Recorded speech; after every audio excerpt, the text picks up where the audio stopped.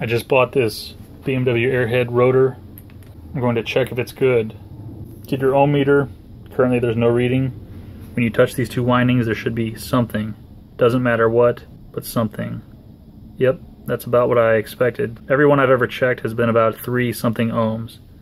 Again, the value isn't that important, it's just the fact that there's continuity. This is a lot easier on the bench. I'll show how to do it on the bike. Disconnect the battery. Remove the front cover.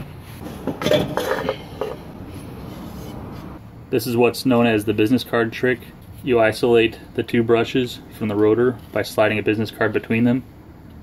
You lift up on the brush wire, which I don't like to do, but this is how you do it. And then you slide the card between. And then there's one in the back.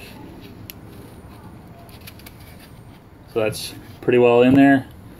Now the brushes are not contacting the rotor. The rotor's isolated. You can take a measurement. Now we can get a reading between those two brushes. So about three point something again.